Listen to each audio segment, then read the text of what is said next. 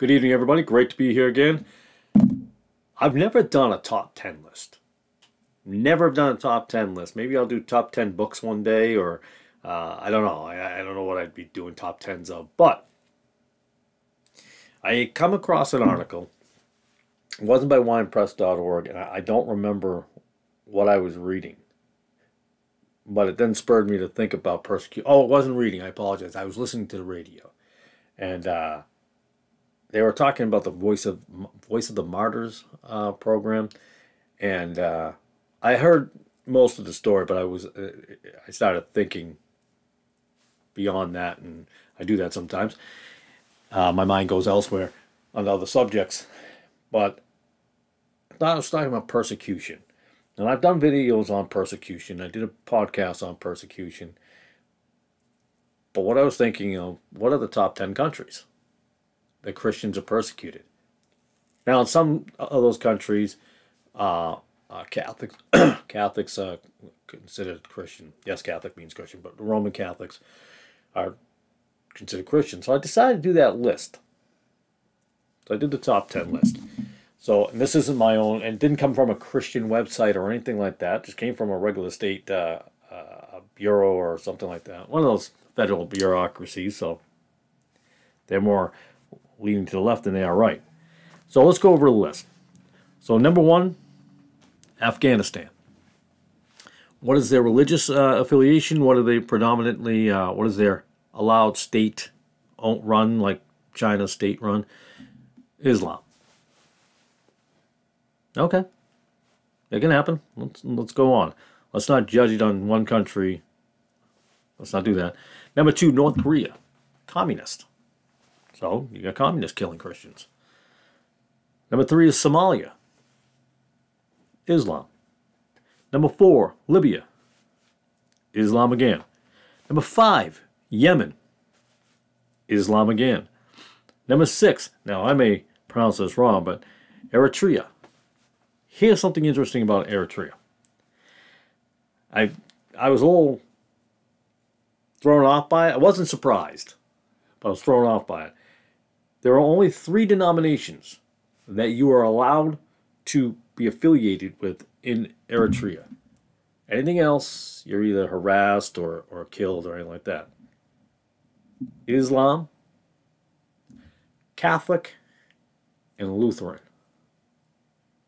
Now, you've seen some videos I made in the past. All the same. Sorry, Lutherans out there watching. Sorry, Catholics are watching out there. It is what it is and it's unfortunate. Number seven, Nigeria, Islam. Number eight, Pakistan, Islam again.